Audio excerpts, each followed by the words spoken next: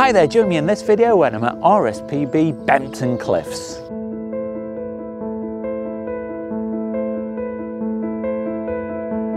Bempton Cliffs is a place I've wanted to come to for an awful long time. It's an RSPB reserve set in East Yorkshire and comprises of towering chalk cliffs that comes alive between March and October with over half a million seabirds, including gannets, puffins, uh, kittiwakes, guillemots and many others. Um, and it's just going to be a really magical morning. Now I'm here really early, it's only five o'clock, but in that way I beat all the other photographers and I'll probably have the place virtually to myself. So come along with me because I know today that I'm really going to enjoy my photography.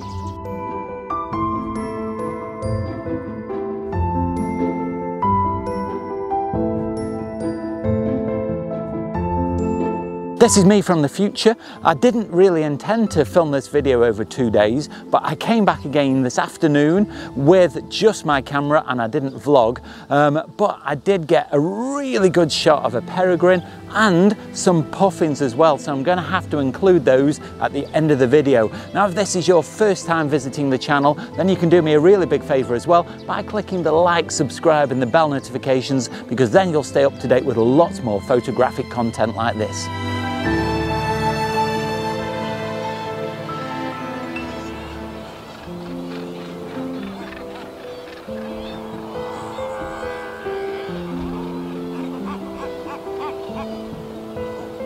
Well, I've not even got off the car park yet and I've already spotted some tree sparrows here on the path behind me. I was talking yesterday to somebody at another RSPB reserve and he said that their um, flocks of tree sparrows have all disappeared, mainly because of uh, during lockdown, um, there was nobody feeding them and they seem to have disappeared. And he did say that there are still some here and straight away I've seen some.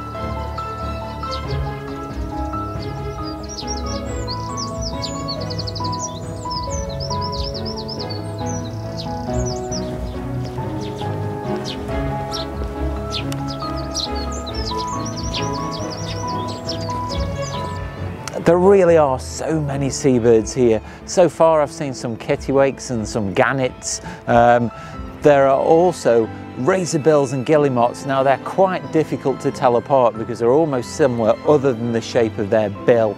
Um, so I'm going to have to probably identify them when I get home. Um, I have taken a picture of the identification chart because you know just how bad I am at identifying birds. Um, so it's probably going to be an ID job when I get back home. So I'm going to resist um, identifying them while I'm here.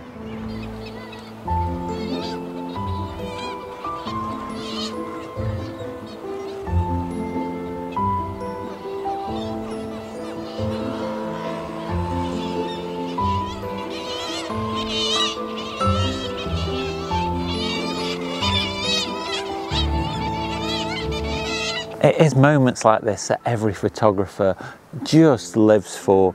Um, we've got great scenery, there's lots and lots of wildlife, masses of photographic opportunities, and it's just um, magical. I'm really, really enjoying myself this morning.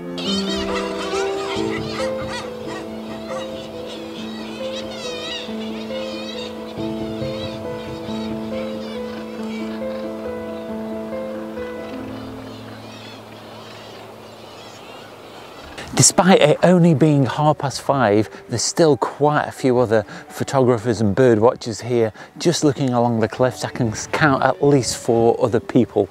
Um, so it's going to get very busy later, um, but it is quite cold. I don't know whether the um, video is doing it justice, just how windy it is. Um, I'm glad I've got my hat and my big coat on um, because the wind is just quite bitter this morning, but it does make make it quite interesting uh, for taking photographs because the birds that are flying around the cliffs are having to turn into the wind to land on the cliffs. So at that point, that's a great time to take their photograph because the wings, wings are outstretched and they're fairly static. So that's what I'm going to be looking for.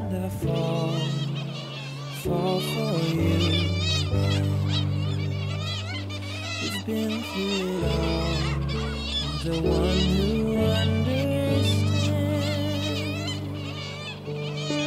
One problem that I am having this morning is the light is quite low because there's a lot of cloud um, and it's overcast. I've got the ISO up to 1600 but I'm still only getting a shutter speed of about 1 300th which really is a little bit slow for birds in flight um, and I'm also using my Z6 II you might notice instead of my 850 um, because I've managed to damage my 850 um, and so I, there wasn't time to get it repaired for coming on this trip.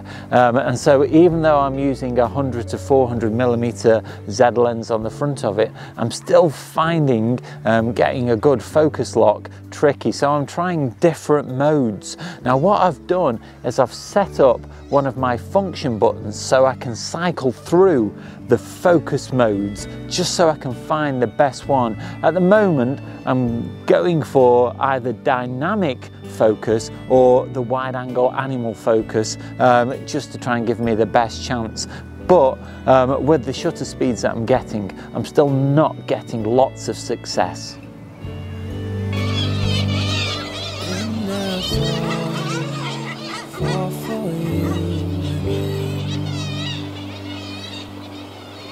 A little bit of a settings update. What I've done is I've got the shutter speed up to 1 1250th of a second. Now that has underexposed the image um, so I can lift the levels when I get back in the computer.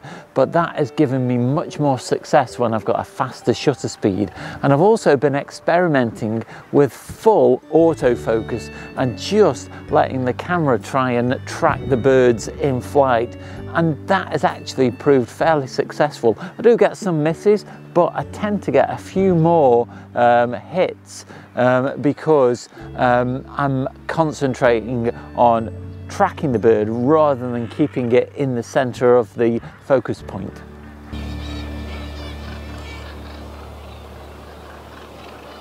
I found a really good position here on this viewing platform for taking birds in flight because the wind is coming this way towards where I am.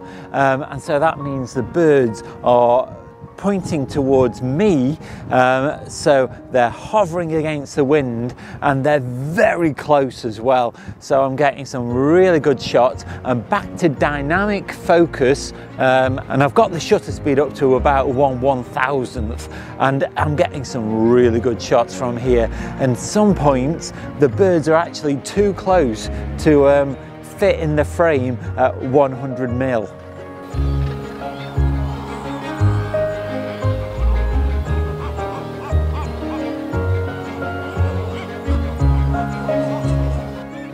I found a really good spot here because the birds are turning into the wind and they're kind of hovering against the wind to give me plenty of chance to take their photographs um, and that's really good. But also there's loads of um, grass and foliage on the top of the cliff that's sheltering me from the wind so it's a little bit warmer as well so it's a double bonus.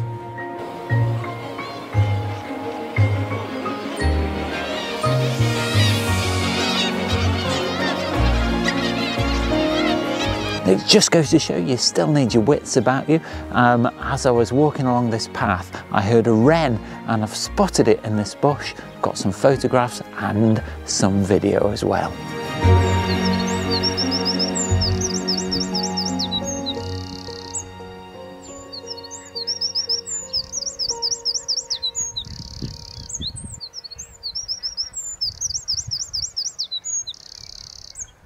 Welcome back to day two. This afternoon the photography has been far more successful. As you can tell it's brighter than it was yesterday morning so I've been able to get the shutter speed much faster and focusing has just been much more successful. But the highlights of this afternoon firstly have been the peregrine sighting. Um, it was sat on the edge of a cliff in sunlight um, and so I got lots of really good shots. It, uh, I waited until it was posing really nicely and so that was quite amazing. And then near the end of the visit I decided to go further along the path away from where the main crowds were down towards the south end of uh, the reserve and then I spotted some puffins fairly close uh, to the path Um, they were just sat on the cliff edge and I got some great shots of that and I hopefully might even have some in flight but I know for certain that I've got them sat posing on the edge of the cliff and it really just put a cherry on the cake for this visit. So what I'll do now is I'll show you those pictures and some highlights from yesterday as well.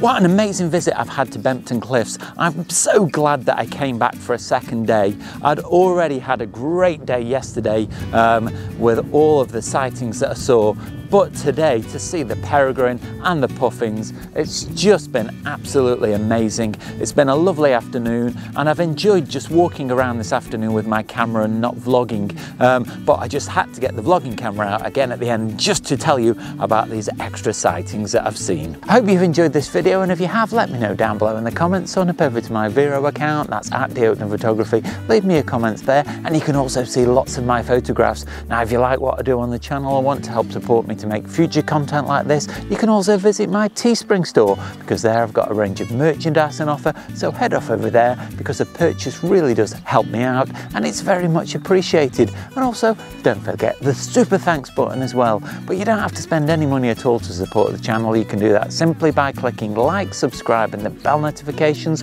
because it really does help me out and it makes sure that you don't miss out on any future content. Watch out for next week's video. That goes live on Sunday.